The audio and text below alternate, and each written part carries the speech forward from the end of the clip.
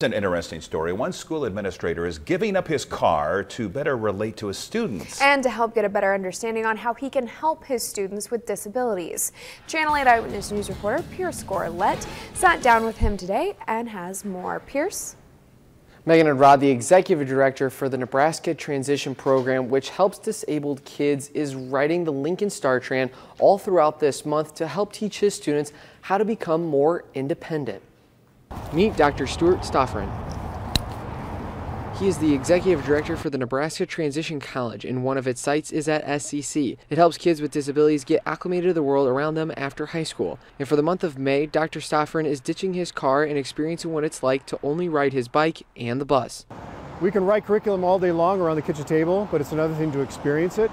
So I'm, I'm going carless for a month and I'm learning how to ride the bus. Before this experience, Dr. Stofferin, like many people, had many assumptions on what getting around Lincoln is like only using a bike and the bus.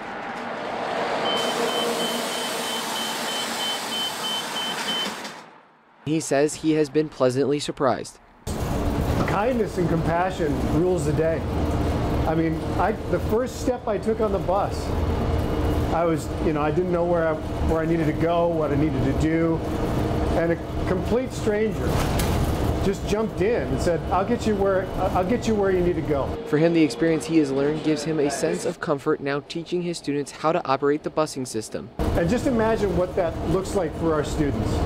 You know, they've, they've got disabilities. All of their life, they've had to listen to "No, you can't," and there isn't. And there's been a lot of bullying in these students' lives. And to know that they can step on the bus and they can have complete strangers jump in and help, uh, that just makes my job a whole lot easier.